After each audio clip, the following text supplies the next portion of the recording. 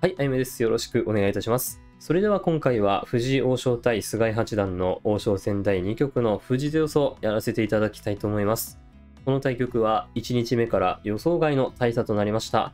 藤井王将が居飛車穴熊、そして菅井八段が三間飛車、美濃囲いから速い動きを探っていきましたが、藤井王将はその動きを逆手にとって巧みに仕掛け、そしていきなり優勢を勝ち取りました。まあ特に47手目、KO なりますよというのを完全に無視した角上がりが素晴らしい一着でした。えーということで今、50手目、菅井八段が7三歩と打ったところですが、えーはっきりここは藤井王将が優勢になっているという局面でございます。まあ評価値でいうと900点、まあパーセンテージでいうと75%から80%といったところでしょうか。なかなか1日目でこれぐらい差がつくっていうのは珍しいですが、それだけ藤井王将の構想が見事でした。ということで、7三歩に対する封じ手予想をやらせていただきたいと思います。次、5七桂成となる手を狙っておりますので、やはり本命としては4六角と引いて、5七桂成を封じつつ、2四歩からの仕掛けを見せていくと、こういう手になると予想しております。ちなみにこの4六角に対する例えば後手1四歩などとつきますと2四歩と仕掛けましてこれはすかさず先手よしになりそうというところですね、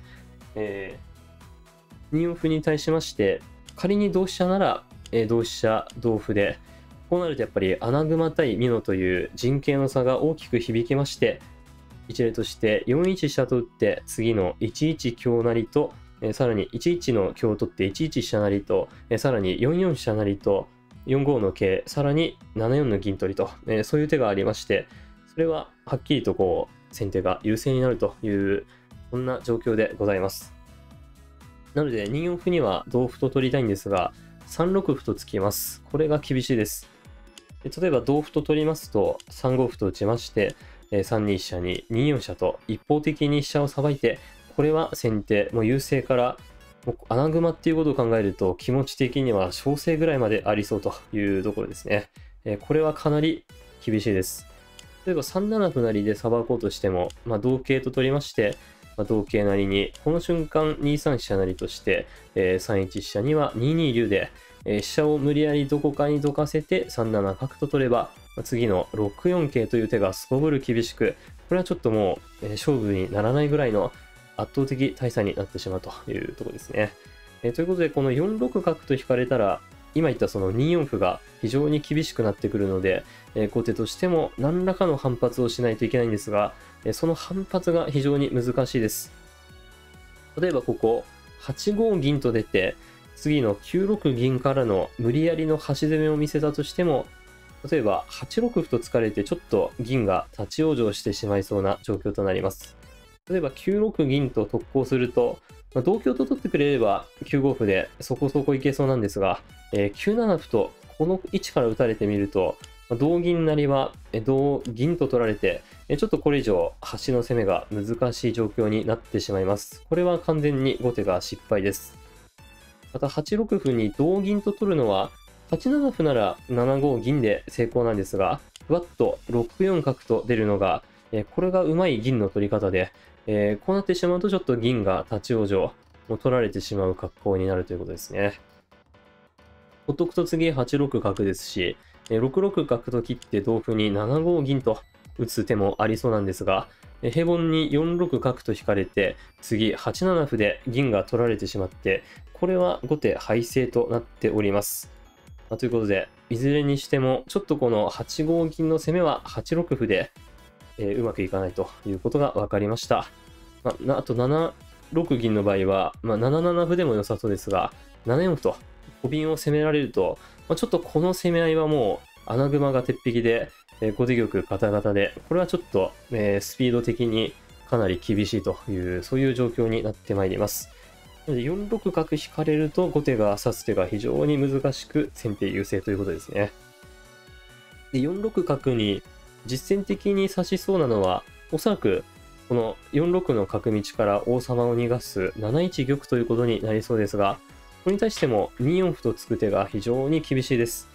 えー仮に同飛車なら先ほど申し上げたような同飛車同歩4一飛車で次、11の香取りがちょっと受からないです。例えば51下と受けても、今度44にこう成り替えられて、45の桂取りになってしまうので、もうちょっと41下で、もう11の香と44の歩同時には受からないという形です。例えば、28飛車と攻め合いに行く手はありますが、11飛車成と香車を取られて、で29飛車成の瞬間に、この角の利きをフルに生かして、7七香という強烈な反撃があります。例えば、ほっとくと7四香と取って、同歩に8二銀と、えー攻められて、潰されてしまいますんで、まあ、ここで何か7七香に受けないといけないんですが、え例えば8二桂と、え手堅く受ける手はありそうなんですが、これもやはり7四香と取られまして、ま仮に同桂で銀に当てると、6五銀と出られて、次、7四銀同歩、6四桂とか、7四銀同歩、8二銀とか、そういった手を見られて、ちょっと指す手がなくなってしまいそうというところですね。で、7四香に同歩が一番頑張れそうなんですが、これも一例として7三歩と打つのが軽妙な一着で、やはり後手陣がガタガタになりそうです。えー同銀は8五銀と打って、で9三角は9五歩で、えーどのみちこの8四の角を攻めていけば、えーちょっと受けが難しくなっていきそうというところですね。で同角と取るのも同角成と取りまして、仮に同銀の場合は、一例として4三銀という強襲があります。藤井八冠なら、藤井王将ならおそらく一目だろうなという強烈な手で、で仮に同金なら5二角で、え6一竜と4三角成を見せて、これは先手必勝形です。4三銀に6二金と寄っても、5二角が強烈な一撃で、次、6一角成同金、え5二銀成とか、え6一角成同金、6三金とか、えーあるいは7二歩から詰ますような筋もありそうです。これちょっともう後手が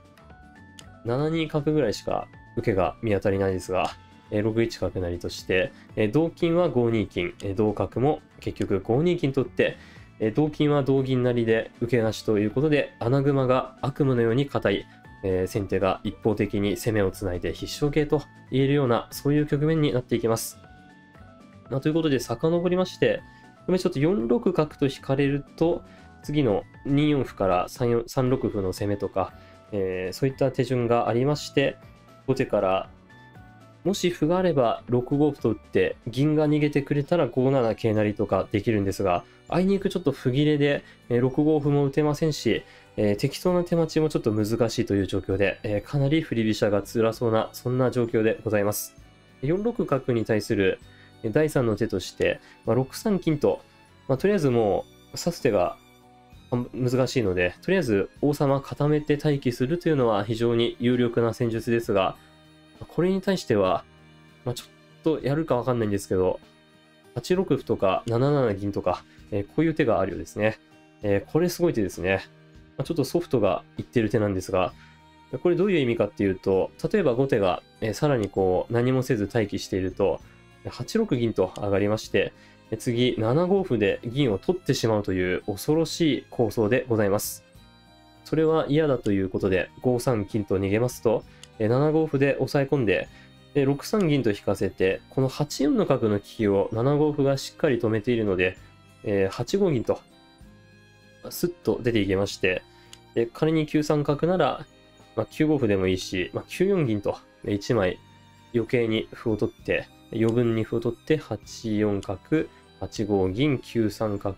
9五歩と、これでぐいぐい端を攻めていけば、ちょっともう後手、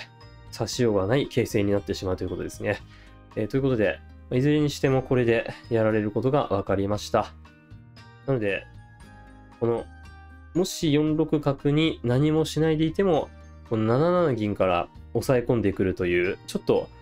普通は考えられないような手順なんですが、この場合は後手が歩切れで、なおかつ先手の駒の配置が、特に4六角の配置が素晴らしいということで、まあ例外的に成立する、そんな手筋となっております。まあということで、えーちょっといろいろ考えていっても、なかなか菅井八段の方から、えー勝負のあやを作る、まあ、逆転する筋っていうのがなかなか見えない部分ではありますが、えー菅井八段、振り飛車のスペシャリスト菅井八段が一体どういう粘りを見せてくるか注目して、えー見ていきたいなと思っております。また封じ手としてもう一つ考えられるのは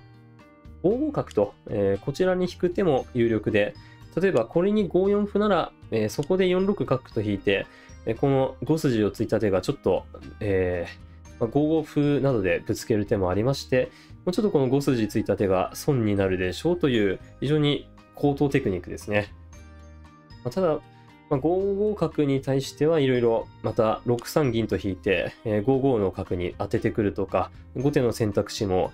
まあ、無駄にちょっと先手から見るとちょっと5五角は後手に余計な選択肢を与えてしまうので4六角の方が、まあ、その6三銀とか6三金とかが角に当たる心配もありませんので一番安定した引き方になるのかなと思います。まあ、ということでやっぱり4六角が大本命ですが他の手としては、まあ、7五歩で1回押さえ込んでしまって、え5七桂成を消して、例えば6三銀なら、まあ、そこで4六角と引いておくと、こういう手も一応ありそうですね。え7五歩もそこそこに有力かなとは思います。7五歩の場合は、えー、6三金と上がられてしまって、えー、仮に4六角だと7五銀と、えー、ぐいっと銀が出てきますんで、これはちょっと手堅く受けたつもりが逆に後手の駒がさばけてしまうので、えーまあ、逆効果になる可能性が高そうかなというところですね。なので、やはり、えー、7三歩に対してはシンプルに4六角が大本命で、まあ、個人的にも多分これでそんなに悪い理由がなさそうなので、こうやってくるのかなと思います。まあ、ということで、1日目から藤井王将の素晴らしい構想で、えー、予想外の差がついておりますが、菅井八段がどこまで粘れるか、注目の2日目となっていきそうです。ということで、皆さんの予想もぜひお聞かせいただけますと幸いですので、コメント欄によろしくお願いいたします。この動画の感想、そして封じ手予想など、ね、どしどしコメントいただけますと大変励みになりますので、どうぞよろしくお願いいたします。ということで、ここまでご視聴いただきまして本当にありがとうございました。この動画がいいなと思ってくださった方は、ぜひ高評価、チャンネル登録いただけますと大変励みになりますので、どうぞよろしくお願いいたします。それでは、失礼いたします。